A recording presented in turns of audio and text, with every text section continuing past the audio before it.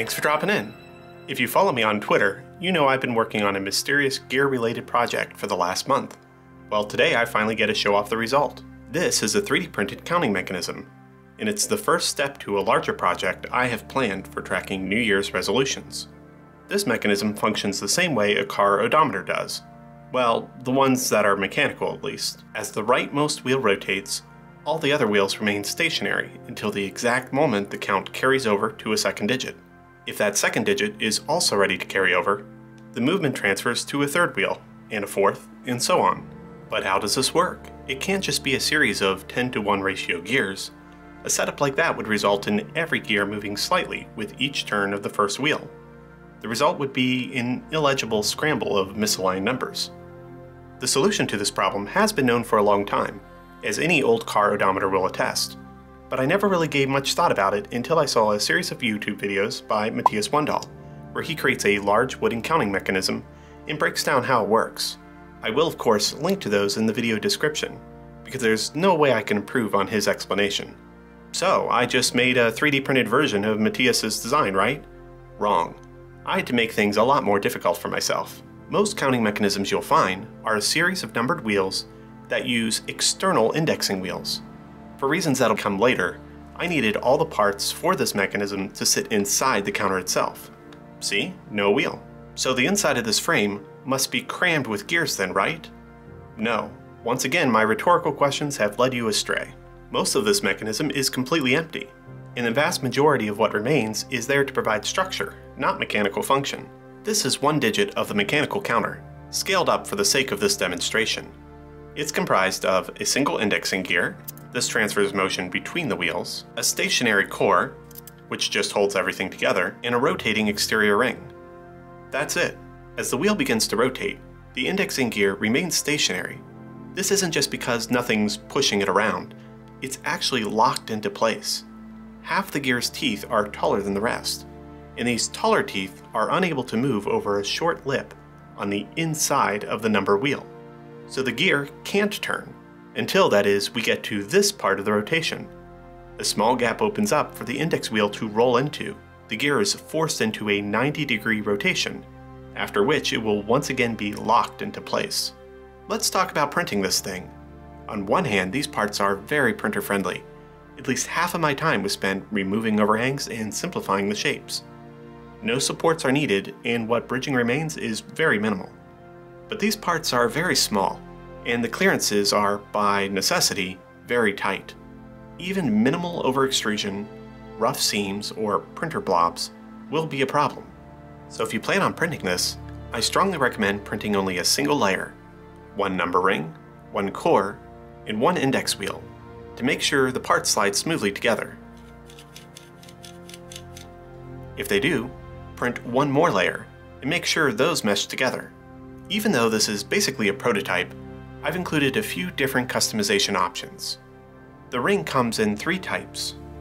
A simple number ring, which you've already seen, a control ring, which has a grippy surface that you can use as your input, and a combination number and control ring, with the two parts merged together. If you use a control ring, the counter will only go up every full rotation of that ring. This is great for, well, control and how quickly the counter advances. The combination ring, on the other hand, translates that movement directly into the first digit, so that's 10 times faster. By default, the core has 3mm holes that you can use to bolt the layers together. But I also have an alternate glue version that doesn't have those holes at all. If you're making a very small counter, only 2 or 3 digits, the glue version is probably fine, but anything longer than that really should use the bolt option. It helps eliminate any wobbling in the assembled counter. I hadn't mentioned them until now, but this design also has start and end caps, and those are available both in closed and open variations. The closed option gives you yet another bolt hole to hold everything together. The open option, of course, gives you a view into the mostly empty interior of the counter. There's also this optional drive gear. Use this if you want to hook the counter up to a motor. Every full rotation of the drive gear We'll advance this wheel by 4. If you want to test this design to the limits, and possibly end up with a broken counter, this is the fastest way to do that. Use caution and expect to smell plastic. Some of you are probably wondering how long can this thing get?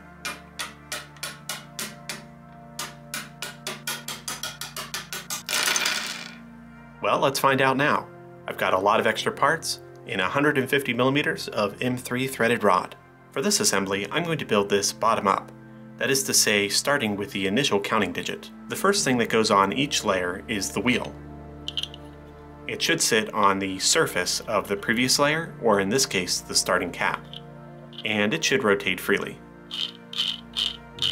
Next, add the core. These two spots on the bottom should line up with two pegs on the previous layer.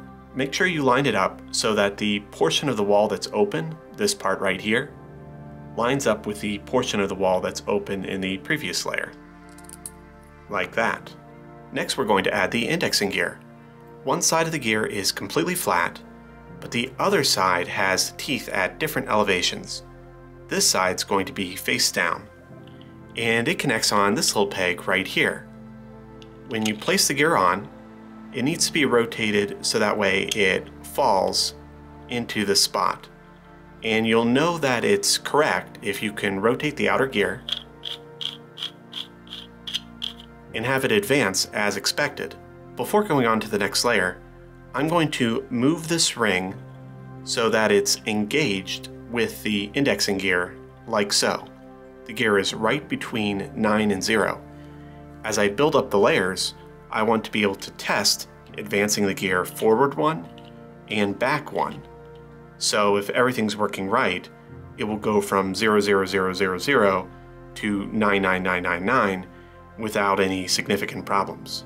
Now I'm just going to take the next ring and continue this process all the way up the counter. Because I intend to turn this into several smaller counters later, I'm only using a single threaded rod to hold this whole assembly together. Regardless of whether you use glue, one threaded rod, or three threaded rods, don't force the layers together too tightly. That can bind up the mechanism. Alright, we're out of threaded rod. If we include the actual rollover, that means that this counter can reach 1 billion at one rotation per second, that's over 30 years.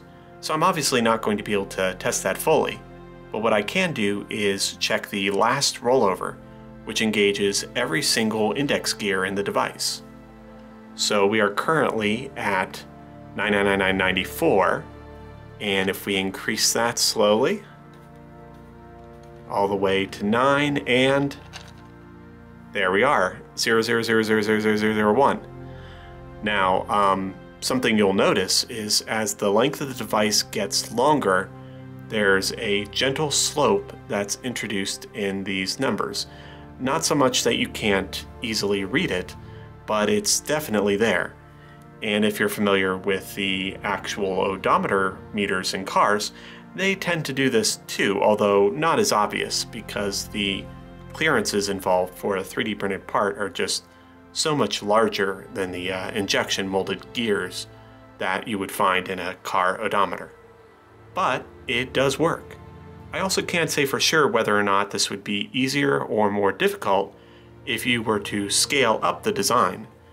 On one hand, the clearances would definitely be more forgiving, but that slope issue I was describing would also increase. So is that a good enough trade-off? I don't know.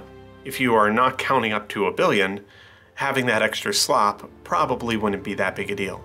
This isn't the last you're going to see of this mechanism, but I think even this prototype was fun to build, and I learned a few things even on this assembly for this video.